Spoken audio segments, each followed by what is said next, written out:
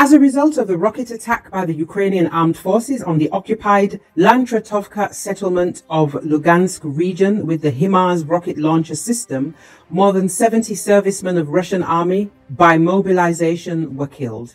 Russian-leaning Ukrainian journalist and video blogger Anatoly Shari reported on Shary said that the Russian side hid the information about the number of dead. According to him, the injured servicemen claim that the number of dead is even more than 100. The Russian side kept the information about the incident secret. Soldiers and military journalists were ordered not to spread information about it. It should be noted that the incident took place on December the 16th. The Russian media reported that the Ukrainian army shelled the settlement, including the school building, and that 11 civilians were killed.